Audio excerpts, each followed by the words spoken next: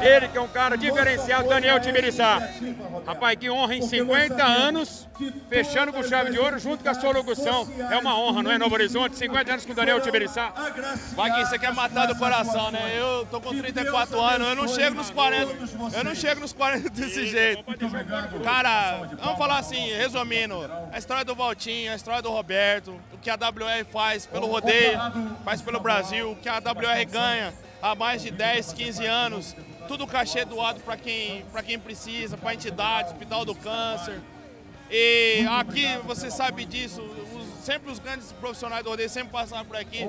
Tá três anos seguidos aqui, para mim não tem dinheiro que paga. Eu digo para as crianças que estão assistindo isso, principalmente como eu, criado em fazenda, que, cara, dificuldade todo mundo vai ter, seja a profissão que você tiver, mas foque em Deus, seja honesto, seja verdadeiro. A gente vai chorar às vezes pra caramba, mais do que dar risada. Mas você pode ter certeza que enquanto você estiver vivo, se você desejar isso com vontade, com coração, com a alma pura, você vai conseguir. Peão nasce mal é peão. Beijo no coração. Ah, ni, ah.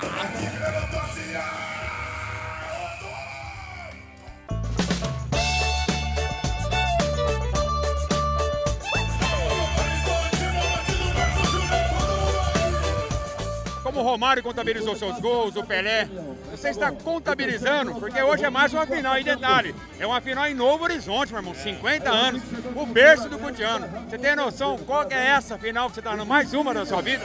Olha, realmente é uma emoção que contagia. Novo Horizonte, uma energia diferenciada.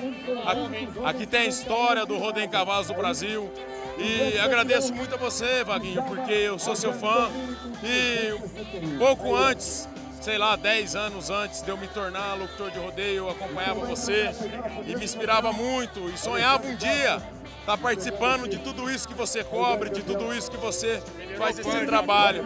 E virou uma só. É, me inspirou demais, então agradeço a você, a toda a imprensa, enfim, que faz a cobertura do nosso rodeio.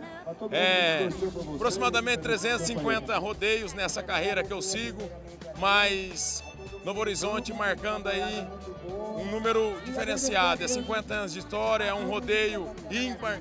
Então, realmente, é um rodeio diferenciado dentro desses tantos rodeios que a gente já trabalhou.